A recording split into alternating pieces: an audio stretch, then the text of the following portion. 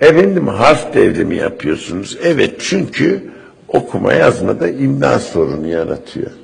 Bu böyle aşk mektubu yazarken hissedilen bir zaruret değil. Çünkü adamlar asker. Asker dediğin doğru mesaj çeker, çabuk yazar. İmla yanlışı talebenin okul ödevi değildir. Hata kabul etmez. Çok açık bir şeydir. Şehrin adını yanlış yazarsın.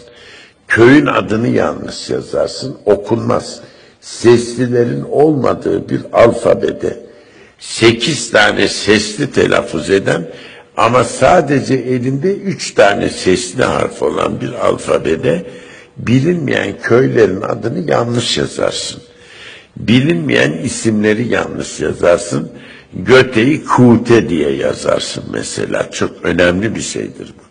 Onun için bu değiştirilir. Bu konuda adamlar radikaldir. Bununla Osmanlı mirası ölmez. Osmanlıca öğrenirsin. Yabancı talebenin 15 günde öğrendiği şeyi sen de 15 günde öğrenirsin. Bu kadar basit bir şeydir. Bu Çince değildir. Ve bunun aksine bir şey söylemek de mümkün değildir. Hangi miras? Osmanlı alimlerinin son 10 yıla kadar tarihimizde yani 1900'lere kadar hiçbir tarihi kaynağı ilmi olarak emande etmedikleri bir gerçektir. Arşiv malzemelerini neşretmedikleri gerçektir.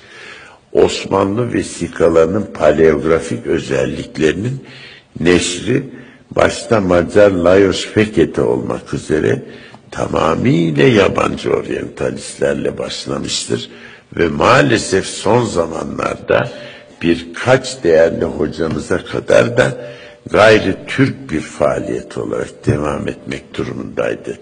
Binaenaleyh, binaenaleyh Türk devrimlerinin değerlendirilmesini tarihi şartlar içinde ele almak zorundayız.